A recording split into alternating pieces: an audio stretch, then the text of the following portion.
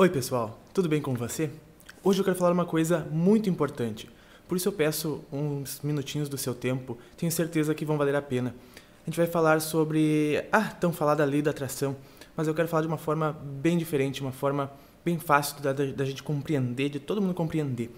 Porque ela é muito mal vista, né? muito mal compreendida principalmente, muito difundida, muito é falado sobre isso, mas no meu ver, o, a principal parte de tudo isso não foi ainda captado. E eu, eu achei uma forma muito simples de compreender isto. Porque você já parou para pensar que as pessoas ficam através de mentalizar, mentalizar para atrair algo que queiram, seja profissional, seja material, seja uma casa, um carro, enfim, o que for a pessoa, né, a gente entende que tem que mentalizar para conseguir. E existem também pessoas que falam que é preciso fingir para se tornar realidade, né? Preciso fingir para que aquilo se torne real para nós. E é bem por aí o verdadeiro ponto. E sabe por quê? Porque quando a gente pensa algo, né, a gente é aquilo naquele momento, certo? Se a gente pensa na raiva, naquele momento a gente é a raiva. Se a gente está feliz, naquele momento a gente é a felicidade. Então o que a gente pensa, a gente costuma ser. Mas quando a gente pensa com sentimento, nós costumamos sentir e literalmente naquele momento ser aquilo. E vocês se lembram do filme, aquele famoso filme O Segredo, né? Que ele ia ensinar como usar a lei da atração para que a gente, através de mentalizar quatro horas por dia, não sei quantas vezes por dia, todas as vezes antes de dormir, mentalizasse aquilo que a gente queria, para que então, em algum tempo, aquilo se realizasse, né? E depois vocês lembram que veio outro filme que era o, o segredo além do segredo e que eles falavam que não, só pensar não é a questão, que o segredo não tinha sido bem interpretado, que a correta interpretação era que nós devíamos sentir aquilo como se fosse verdade, como se já estivesse acontecendo.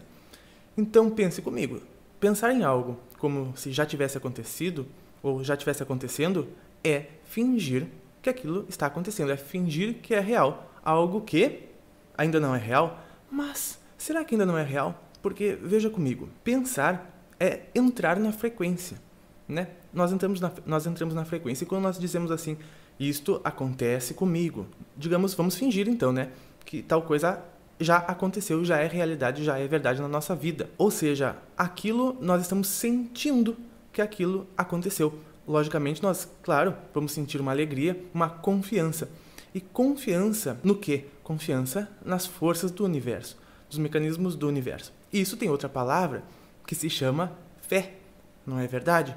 E para mim a fé é um dos maiores poderes do universo. E é isto o que está por trás do, do, acreditar, do verdadeiro acreditar. E quando a gente acredita, fingimos, acreditamos, nós mexemos os pauzinhos certos do universo. Então, por fingir, por sentir aquilo realizado e pronto, olha só, isto já está planificado nos níveis superiores do universo, aquilo lá já está plasmado. Só falta o quê? Só falta ela densificar.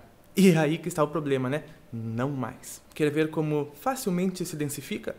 Bom, olhe comigo. Você já pode ter ouvido falar, ou visto, ou até mesmo ter feito é, cursos ou coisas sobre programação neurolinguística e linguagem corporal, né? Quando a gente se coloca em uma linguagem corporal de alegria, uma linguagem corporal de poder, de força, automaticamente a gente sente aquilo. Ou seja, nós com o corpo fingimos uma posição, uma sensação, né? Colocamos o peito para fora, né, até mesmo sorrir, né, já automaticamente movimenta os nossos mecanismos físicos que vão proporcionar que nós sintamos aquilo daquela forma e expressemos e começamos a realmente estar daquela forma. Ou seja, quando aqueles galãs né, fazem aquela pose, quando pose da Mulher Maravilha, enfim, tem várias poses de poder, poses representativas que fazem a pessoa canalizar aquela energia, ser aquela presença, estar naquela energia, naquele momento e traz a energia do físico para nós, né? Aquela coisa de andar com a cabeça levantada, porque andar com a cabeça para baixo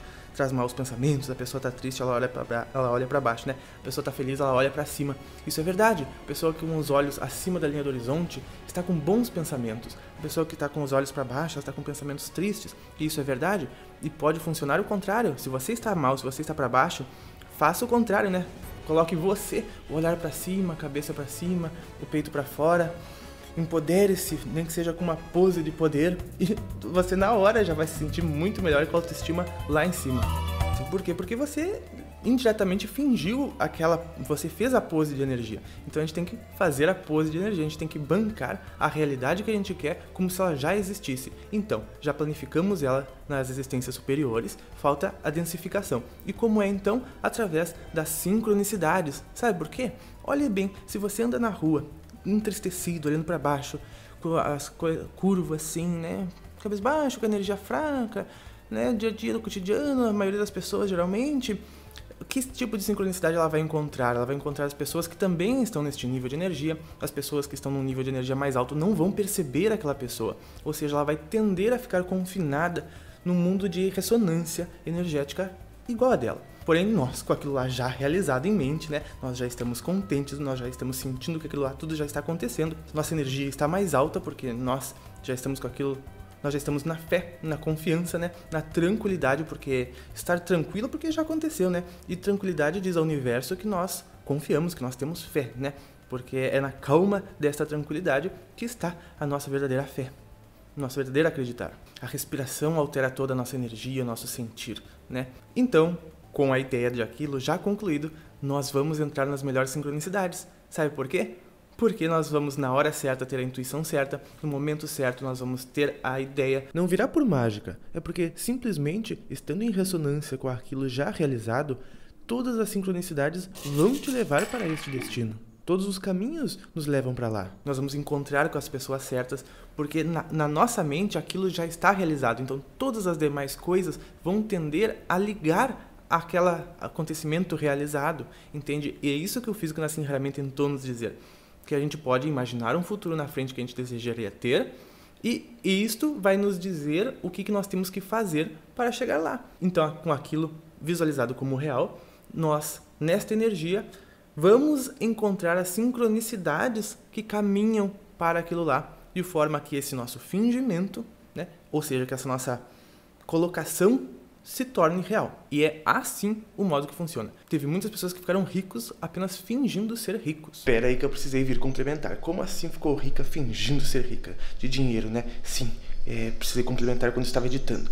Porque a pessoa ela passou a sentir aquilo, né, como se fosse verdade. Então ela passou a canalizar aquela energia. Então ela passou a conviver com pessoas através também da sincronicidade que tem aquela energia, ou seja, ela se contaminou mais ainda por aquela energia.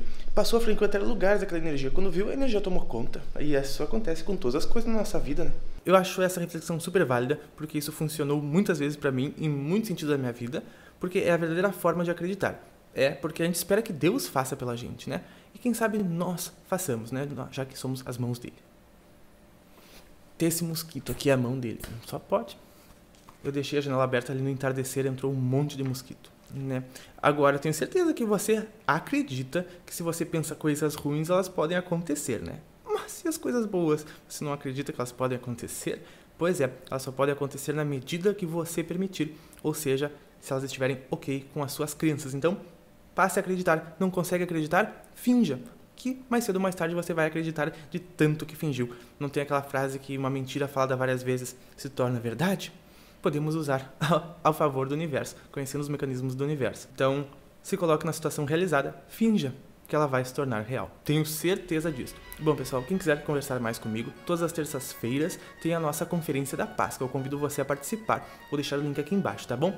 Agradeço por você ter assistido a este vídeo. Espero que você tenha gostado e espero que tenha contribuído. Acho que contribuiu, certo? Um grande abraço e até mais!